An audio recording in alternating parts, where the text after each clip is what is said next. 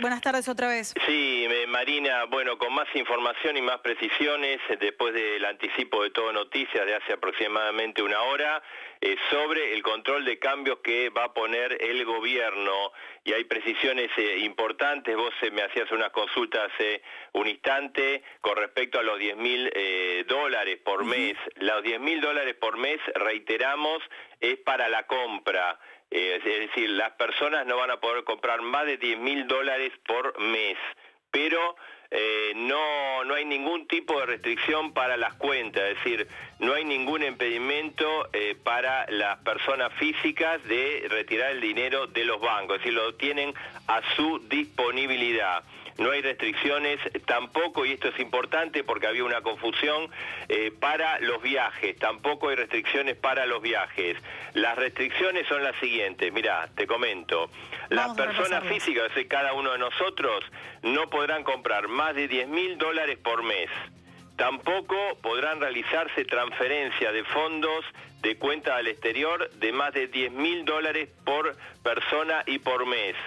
Para las personas jurídicas, es decir, empresas, compañías, exportadores, donde las restricciones son ahí eh, mayores dispuestas por el gobierno, bueno, son las siguientes. Los exportadores tienen que vender las divisas fruto de las exportaciones, esto eh, tal cual lo habíamos anticipado en forma exclusiva, en el mercado local dentro de un máximo de cinco días hábiles después del cobro o 180 días después del permiso de embarque. Esto es muy importante porque había una total eh, liberalidad y los exportadores ponían dejar las divisas en el exterior, una medida totalmente absurda para las restricciones eh, externas que tiene la Argentina, que había instrumentado en su momento Federico Sturzenegger y siguió vigente. También no hay restricciones para importaciones o pago de deuda o vencimiento. Las empresas no podrán comprar dólares para atesorar. Esto es otra medida eh, fuerte eh, para la restricción. Los bancos mañana estarán habilitados para extender su horario hasta las 17 horas eh, por mes. Son las precisiones que estamos teniendo de medidas que, bueno, se van a... Hay un decreto que, se, que se publicó en el boletín oficial. Eh, no están ahí estas precisiones que estamos anticipando en forma exclusiva. Eh, parte de lo que se decía era que esta extensión del horario podría no ser solo mañana, es voluntaria, no va a ser obligatoria, cada banco tomará la, decisión. pero que podría extenderse más allá del día de mañana, esto de correr el horario bancario del cierre de las 15 horas a las 17. Podría ser, en principio, para partir de mañana y podría ser que se habilite. O sea, la idea acá es que eh, de dar tranquilidad a los zorristas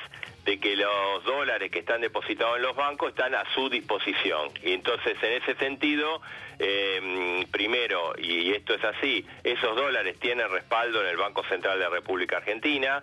Eh, segundo, se le va a decir, bueno, nosotros incluso abrimos y extendemos el horario bancario por si alguien quería retirarlo, tenga toda la comodidad para hacerlo, porque los dólares están. Va a haber mañana abastecimiento de billetes en los eh, bancos, básicamente, porque eh, se va a establecer que va, este, de alguna manera, eh, va a haber billetes con el objetivo de eh, que si no, no eh, hubiera faltantes como el día viernes, que esto generó también bastante comentarios y cierta psicosis entre los ahorristas. Es un plan de control eh, de cambios que establece límites para los grandes operadores con el objetivo de alguna manera de proteger o darle ciertas garantías eh, al pequeño ahorrista, ¿no? Esta es un poco la idea y se van a establecer estos límites en el mercado de cambios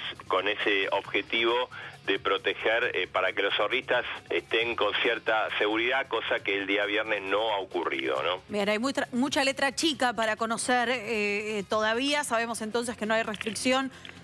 no va a existir un dólar turista como existió en, otro momento. Me, me, quedan algunas dudas, Marcelo, pero... pero a, ver, por ejemplo, qué pasa con los gastos en dólares que una persona pueda realizar, si eso se va a considerar dentro de ese límite de los 10 mil dólares que compra.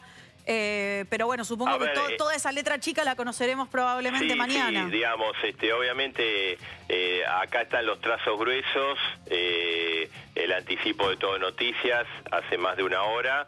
Ahora estamos dando más detalles, todavía van a, faltar más. Las grandes cosas se están definiendo en este momento. Mañana a 9 de la mañana, conferencia de prensa de la CUNSA y, em, este, y Guido Sandleris.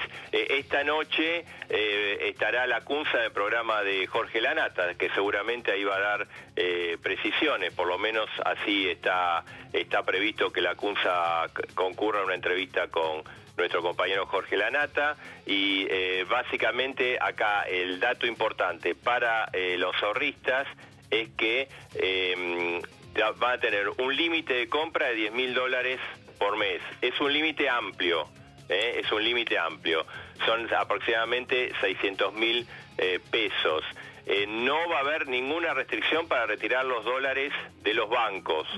Y otra precisión importante, porque al comienzo eh, había alguna duda cuando hablamos, eh, no va a haber medidas para la actividad eh, turística, de turismo en el exterior. O sea, la verdadera restricción al turismo en el exterior es que el dólar pegó en 15 días un salto de 45 a 62, que fue el cierre del día viernes, ¿no? Bien. esa, es la verdadera restricción, prácticamente un aumento de todos los costos para viajar al exterior del 50%. Eh, por ciento. sí, va a haber medidas duras para los grandes operadores, eh, para los exportadores.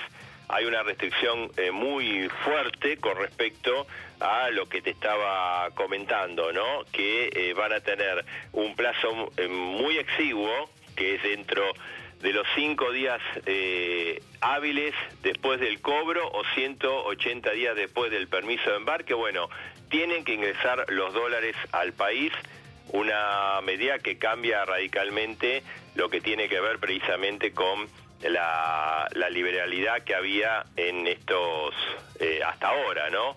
que era bastante irracional, te, digo, porque siempre en Argentina, siempre, con todo tipo de gobierno, eh, había un plazo de ingreso de, dólares de las exportaciones como para garantizar que esos billetes, bueno, ingresar al país, eh, los dólares es un insumo eh, básico, viste, para la mm. economía argentina y eh, imprevistamente en el 2017 Sturzenegger liberó absolutamente todo y ahora se estima, ante la necesidad de billetes, que hay que revertir esa medida que mm, era eh, llamativa después de la devaluación porque el problema de la crisis digamos, viene del año pasado, ¿no? Y los problemas de la cantidad de dólares también vienen del año pasado, pero ahora se aplican frente a una urgencia eh, muy fuerte en este momento también de transición política. Bien, Marce, un ratito nada más, a medida que haya detalles, no solo eh, de la letra chica económica, ¿no? que nos, eh, nos interesa a, todos y para tener